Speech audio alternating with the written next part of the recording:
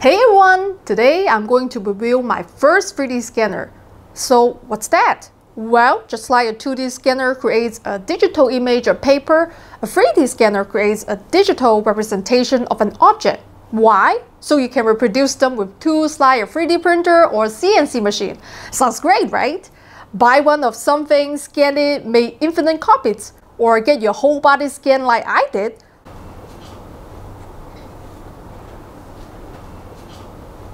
But wait, there's a problem. All 3D scanners are bad. Yep, you heard me, all of them. Here's why. For about $180, an Ender 3 3D printer can produce strong, durable, and detailed objects. But the logical partner of a 3D printer, a 3D scanner that can reproduce that level of detail, costs 100 times that. Good design is cost-effective design, any tool chain where data input costs 100 times what data output does is in need of improvement. A paper printer and paper scanner cost nearly the same, and a paper scanner can usually capture more detail than the printer can reproduce. Not so with 3D scanners. They usually cost 1,000 to $50,000 and almost none will directly produce a usable, accurate 3D model. The raw data, the point cloud is applied needs post-processing before it can be used. Artifacts have to be removed and the holes in the scan have to be closed. Most scanner companies just show you the end result after the model has been repaired and practically hand sculpted, not the raw data. So now that you understand that 3D scanners are ridiculously expensive for what they actually do, when we do a review, we're not even hoping for good. We're looking for less bad than the competition. Today, I have a really interesting 3D scanner to try it out. Creality is always trying to bring new and innovative products to market and they asked me to evaluate the scanner and also to find out what you think. They are considering partnering with the manufacturer to distribute it overseas once it has been tweaked a bit, of course. I've already unboxed it. Let me show you how it worked. Okay, this is the scanner. Basically, it's just an Android tablet with a built-in projector and two cameras, which gives you everything you need to do a structured light scan. And I like it a lot because you don't need to plug in all the cables and maybe download a special software just for you know the scan this one just come with comes with battery and if the battery runs out you just plug in the cable and charge it. And you do everything on the tablet like you can you scan it you calibrate it. It's pretty easy it's small it's self-contained it's portable and it runs android system on it. I like it. Now i'm going to log in and it will automatically log me in. At first, I was a little bit worried because I'm like, I have to register and then I saw the cloud.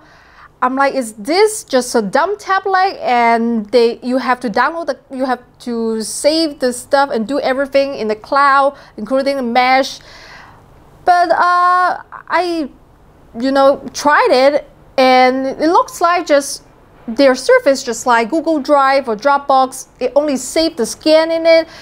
It helps you to move the scan from the tablet to the computer. It doesn't do any meshing over there. So it's option, it's optional. You, you can use other service too.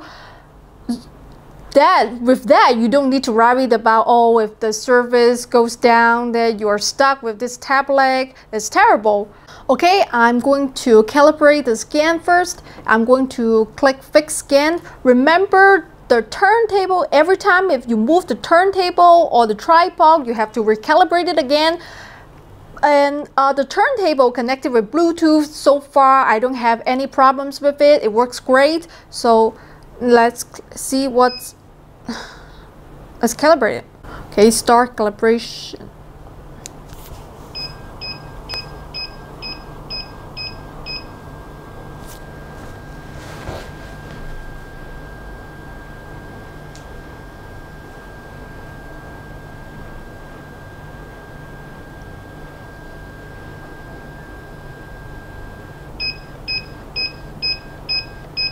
Calibration success. Okay. Now I've got a bunch of models to scan. Let's see if it will pick it up. Let's see if it will work. Okay, let's start with this cute Shiba Inu. It's a little low, so I'm going to put maybe the tip as a base for it. Okay, now looks about right. In the settings, I would want 12 viewpoints so that it gives me, you know, every side of it.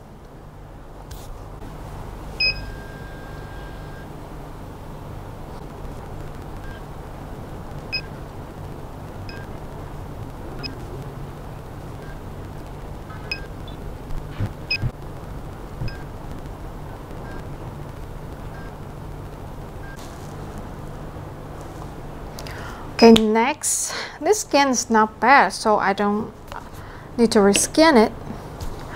And what do we scan next? In old time, this is our money. In ancient times, if they got 3D scanner and 3D printer, they could have counterfeit a lot of money. Mm. Okay. It's a bit shiny. The surface is shiny. I don't know if I need to put some powder on or paint. Let's take a look. Let's give it. Uh, let's uh, try it out. If it doesn't work, I have my powder.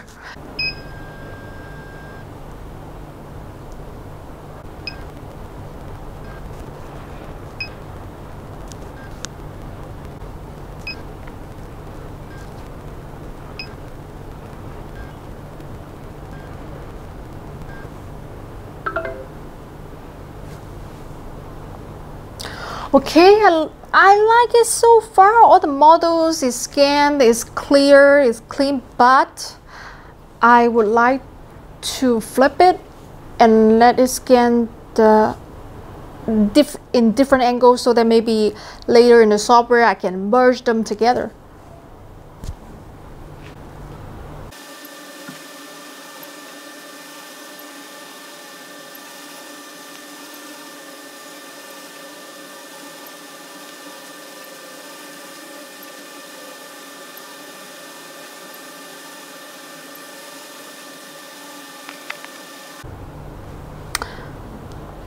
All right, next.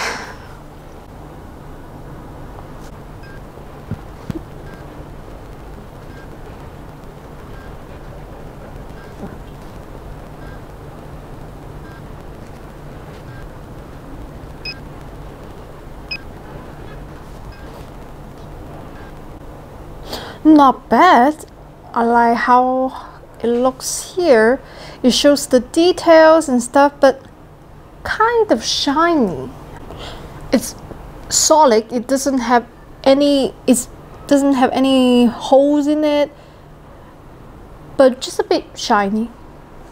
Okay, put some powder. Fortune goes. Oh,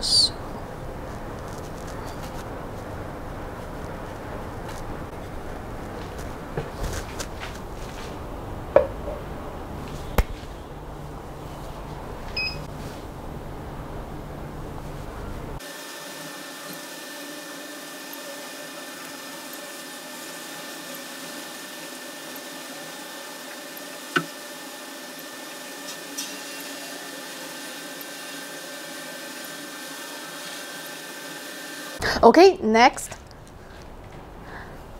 So this is Guan Yin. You probably see a lot of Chinese family has neither Guan Yin or Buddha for them to pray every day. Um, this one definitely needs powder because compared to the money thing, the money thing has words on it and it's round and all that, but the words on the surface they didn't curve curve very deep and it's solid. This one is super solid. And the other one is look at the base. Even though this one has a base, but it has a lot of pattern on it. Um, I think without powder, it will be there will be a lot of holes for me to fill in in the software. So uh, uh, or maybe spray paint. But first, let's try the easy way. Let's put some powder on it because we already know with, with powder, Barbie looks better and the fortune card looks better. Probably work on Guanyin too, right? Okay, dip.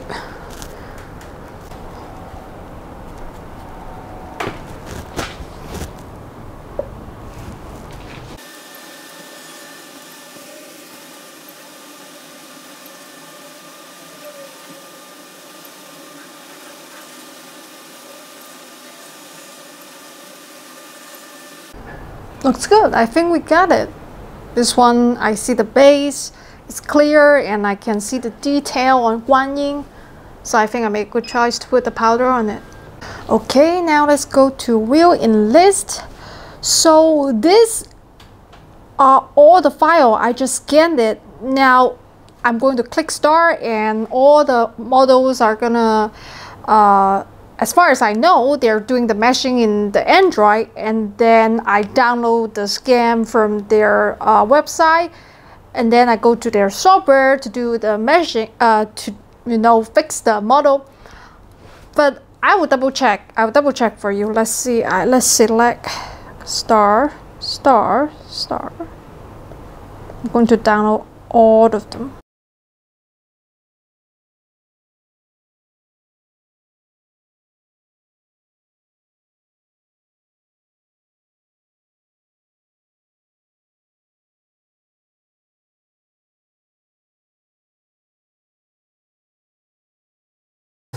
I scanned all the model and they are all in the cloud now. And I am just having a break outside and I'm going to show you how it works in their software. So this is their website, it's called InFly 3D. These are all the models I scanned. Let's go to their software. So now we are in the 3D model process. Here you can see model and click the down arrow button, you can select from local models or cloud models. And I just show you the uh, website. You can download it from here, but I think it will be faster if I, you know, use the cloud models in their software. If I want to import it, I just uh, select maybe the dog, okay, the dog first. Okay, here's our doggy. Here's our Shiba Inu. As you can see, there are some holes on his face. I'm going to fix it. And at the back, there's the uh, like a piggy bank. They have a hole for you to pick the corn in.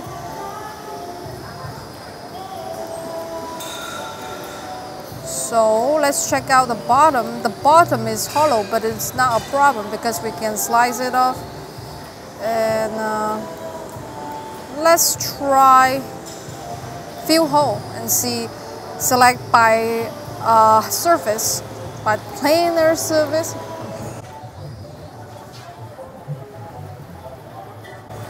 Now I can not see his eyes.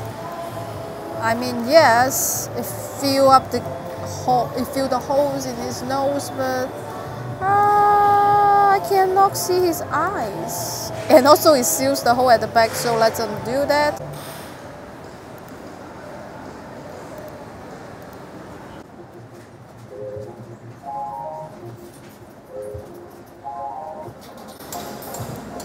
Okay, on the top, the hole is filled. This is perfect.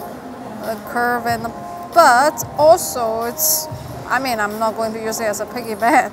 So it's, that's fine. They want is they sealed it. Let's call it doc. Save it as a PLY file. Export model success. Okay, let's click another model. And this time, as you know, yesterday I scanned uh, models from different angle.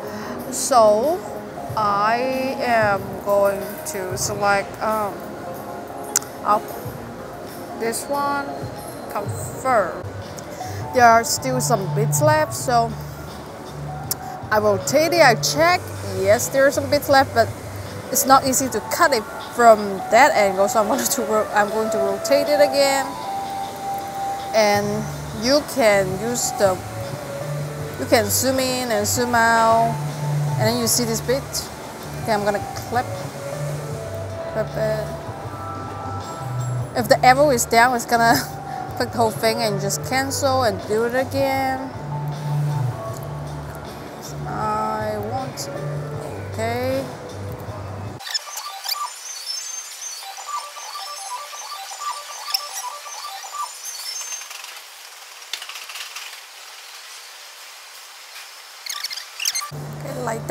The little bits I don't want and I still want to go a little bit deeper, yeah, like this, right?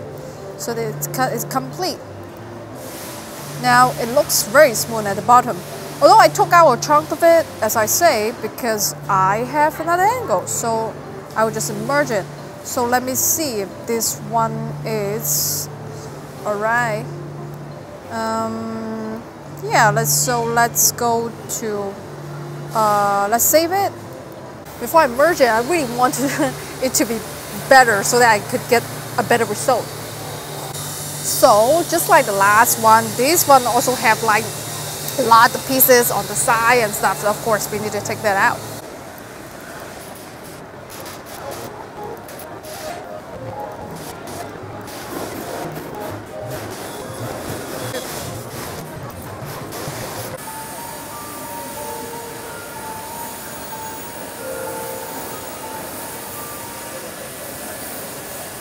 Let's hit a line and see what happens.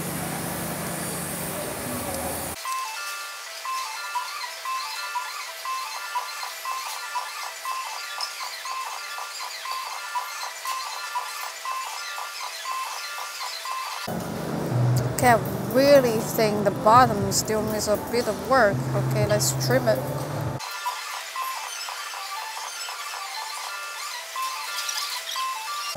Okay, now let's fill hole and see what's going, what will happen. Okay. Ah, let's do it again. No, it's not good enough. It's bad. No. it takes some practice, I guess. This video is sponsored by Creality 3D makers of the Ender 3 3D printer. Check the description box for more info.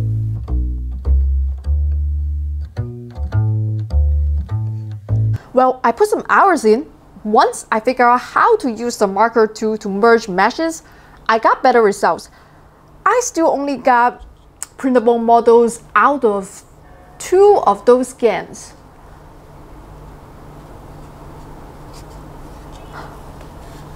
On the upside, the dimensional accuracy on the final 3D print is quite good, 0.2 or 0.1 millimeter. I would still consider it a sort of camera lucida, more of an artistic guide if you're already good at organic modeling. Okay, I put all the files I scanned at the link in the description box. At the moment, I don't have another 3D scanner to compare it with, but let me know your thoughts in the comment section. Would you buy this scanner? What would you consider a fair price? Let me know. I've got some ideas for projects I can do with this, so expect to see more of it. That's it for today. Please subscribe and turn on notifications. I'll see you all next time. And remember, if I can do it, anyone can do it.